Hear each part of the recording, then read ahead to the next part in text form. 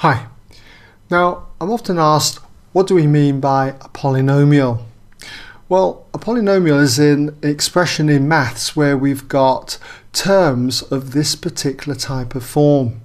That is, we've got a constant multiplied by x to the power n, where n is a positive integer. And it normally goes down in descending powers. I'll give you a few examples because this doesn't look uh, particularly easy to follow, but uh, you'd have seen many polynomials in the past, I would have thought. For instance, we've got this type of polynomial, 3x squared plus 5x minus 2.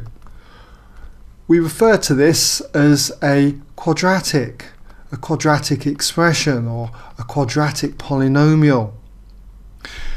Here's another polynomial, 5x cubed minus 2x squared plus 1.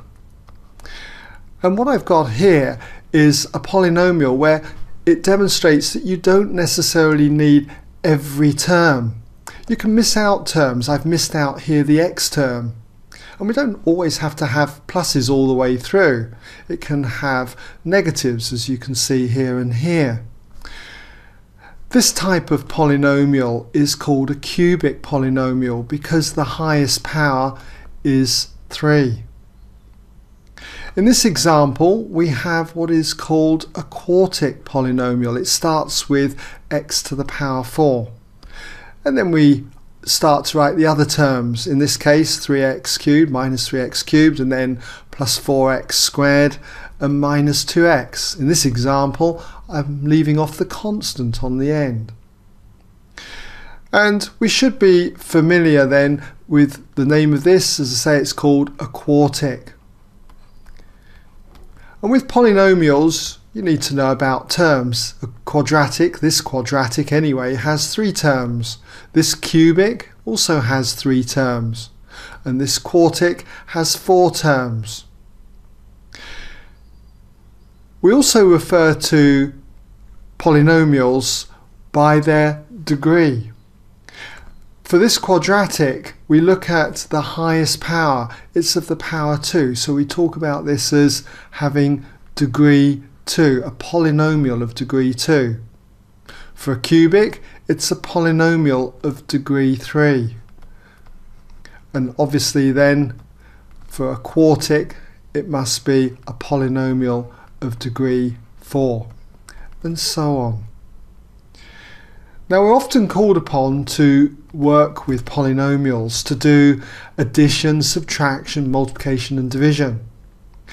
And what I've got here is an example which I would certainly encourage you to try where we've got two polynomials p and q. I've defined p as this cubic polynomial and q is this quartic polynomial.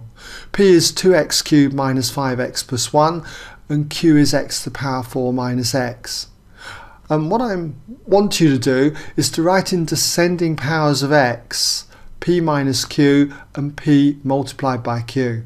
And when I talk about descending powers of x, we're talking about giving you answers in this kind of form here, okay, where the powers go down.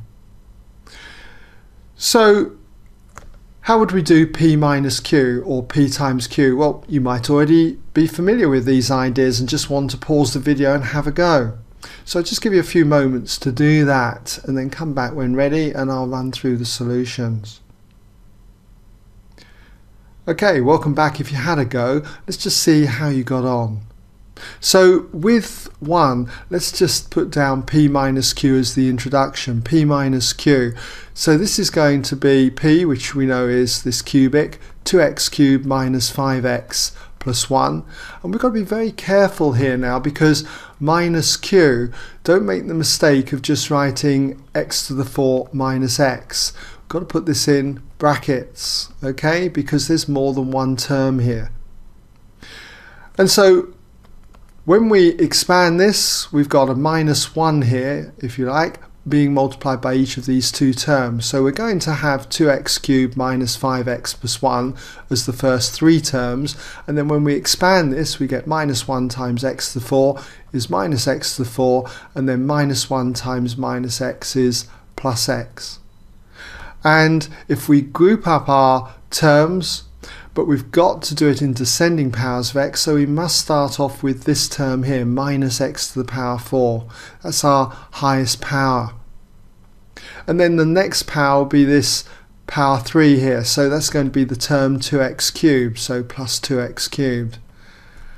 We have no x squared term, but we have an x term here, minus 5x, and we can group it with the plus x. So it's going to be minus 5x plus x, which is minus 4x.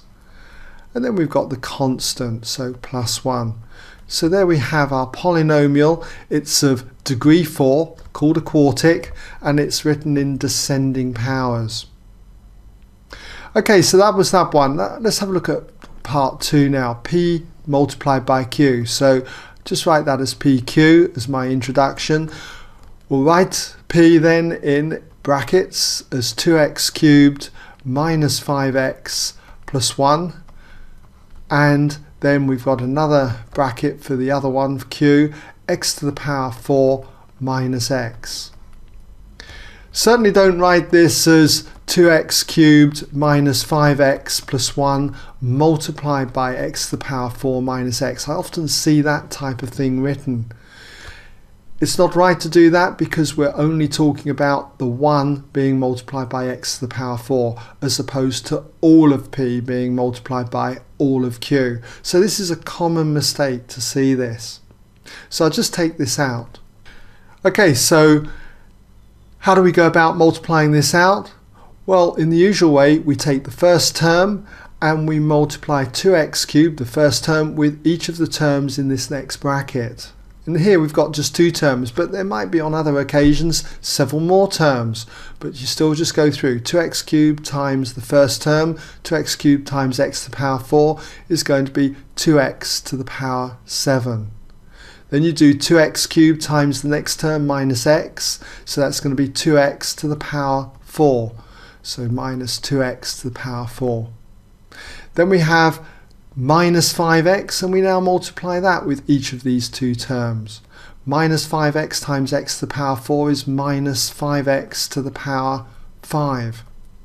Then we do minus 5x times minus x, which is going to be plus 5x to the power 2, or 5x squared.